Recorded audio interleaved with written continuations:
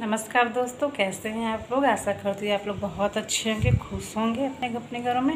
और आज नाग पंचमी है, आप लोगों को नाग पंचमी की हार्दिक शुभकामनाएँ।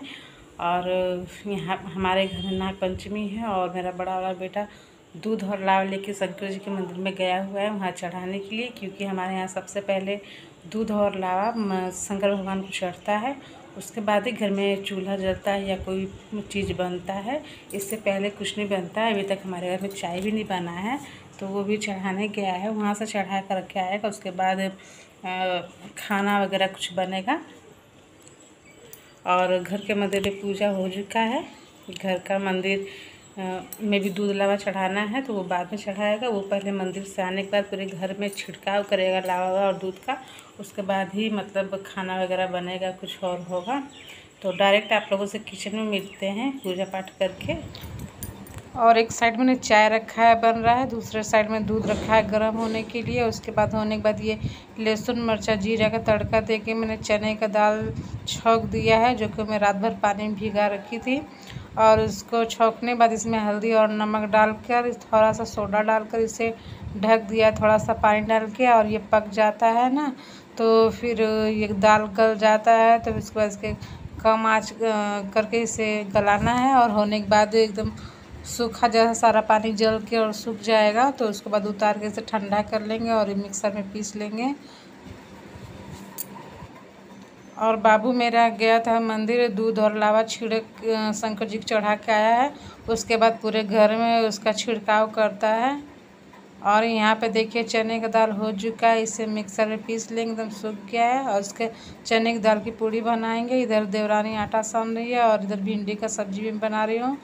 और उसके बाद सब होने के बाद चने की दाल का चलते हैं पूड़ी बनाने के लिए और सेवई बनाएँगे। इधर सेवई भी भून रहा है। इतने सारे पकवान एक साथ ही बन रहे हैं तो देवरानी सेवई भून रही मैं इधर भिंडी की सब्ज़ी बना रही हूँ।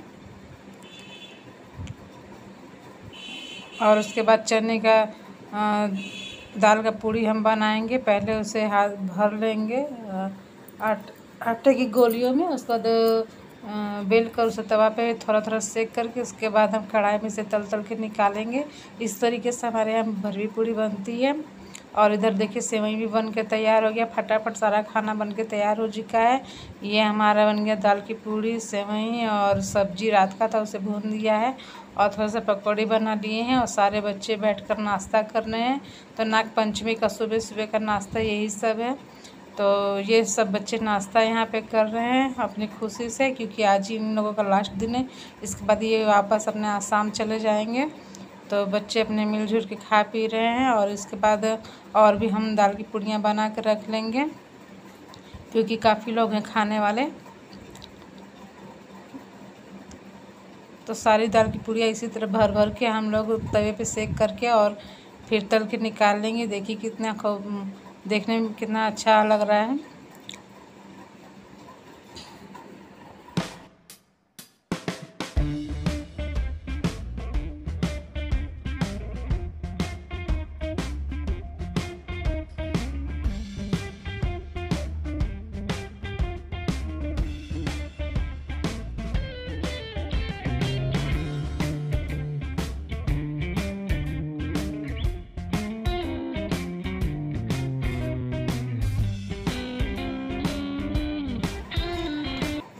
और यहाँ पे हमें और मेरी देवरान आपस में बातचीत करते हुए बना रहे हैं खाना, क्योंकि फिर वो वापस चली जाएगी तो फिर बात करना नहीं होता है।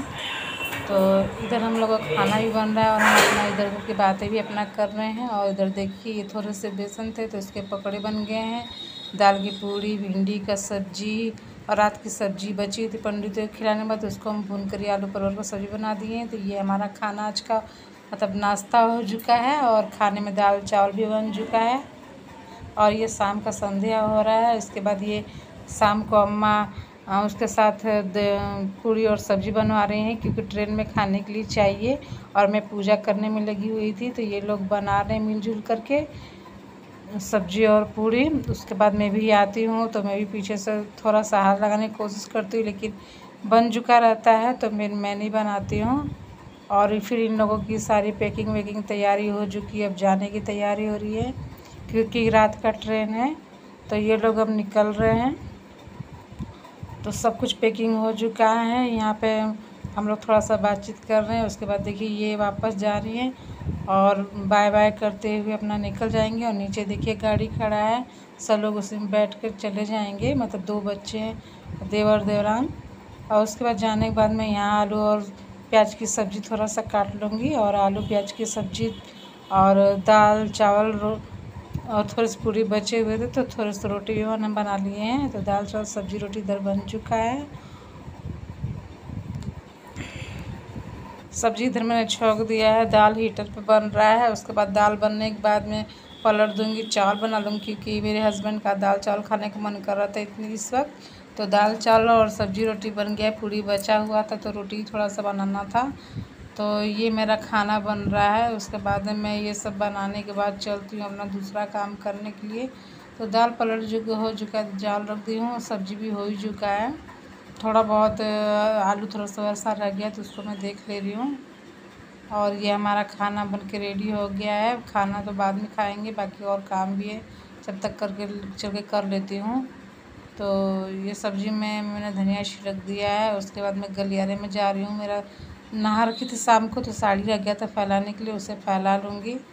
और उसके बाद मेरे को प्रेस करने थे कपड़े, काफ़ी दिन से पड़े हो रहे थे। कपड़े हर रोज़ ही, दूसरे चौथे दिन कपड़े हो जाते हैं तो इधर मैं कपड़े प्रेस कर रही हूँ। तो यही सब है आज का वीडियो में मैंने बन, शेयर किया है। आप लोगों को कैसा लगा ज़रूर बताइएगा। नए जुड़े हैं तो लाइक कीजिए, सब्सक्राइब कीजिएगा, पसंद आया लाइक कीजिए। मिलती नेक्स्ट वीडियो में। तब तक के लिए बाय बाय